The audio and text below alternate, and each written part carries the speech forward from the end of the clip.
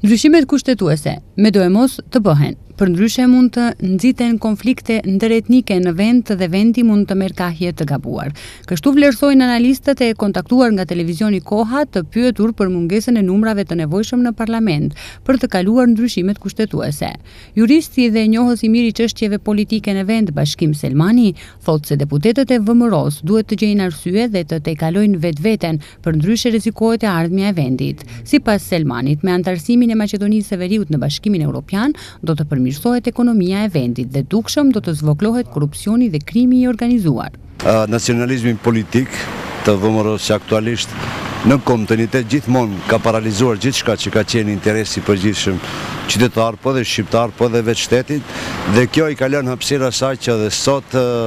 faktikisht jo vetëm të dëmtojë ardhmërinë e shtetit, por siç duket në këto situata është e papërgjegjshme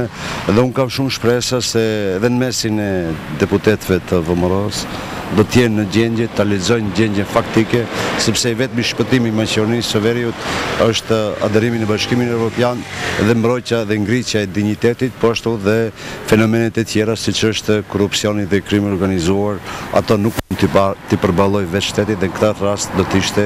pjesë shumë e mirëseardhur, ju e patë edhe Bullgaria, Rumania, Hungaria, të ishin shtete që ishte korrupsioni i lartë, që ishte krimi i organizuar, po ashtu dhe varfëria e qytetarëve. Dhe sot ato shtete as që mund t'i diskutojmë dhe të flasim. Nga ana tjetër, analisti politik Albert Musliu thotë se Maqedonia është futur në një fazë të tensionuar dhe se mund të eskalojë shumë lehtë. Sipas tij, VMRO-DPMNE dhe partia e Apasievit duhet të gjejnë njëfarë justifikimi, zgjidhje te elektorati i tyre, që të ndryshojnë qëndrim dhe të votojnë ndryshimet kushtetuese. Nëse nuk realizohen ndryshimet kushtetuese, gjithsesi se do të hyjmë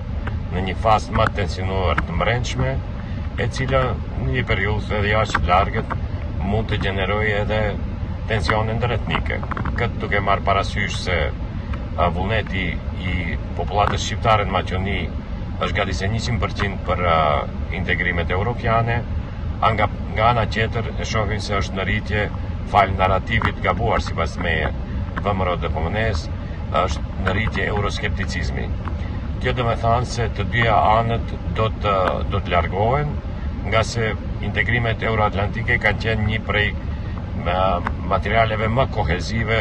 në shoqërinë tanë, e cila është multietnike, ku edhe komunitetet jo çdo herë i kanë interesat e,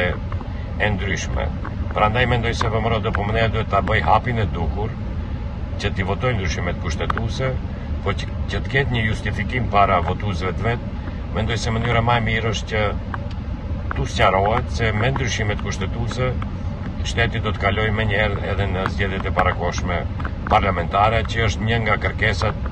më thelbësore të VMRO-DPMNE-së. Të dy bashkëfolësit bien dakord se qytetarët e Republikës së Maqedonisë janë peng i politikave ditore dhe interesave të një grupi të caktuar njerëzish që udhëheqin skenën politike në vend.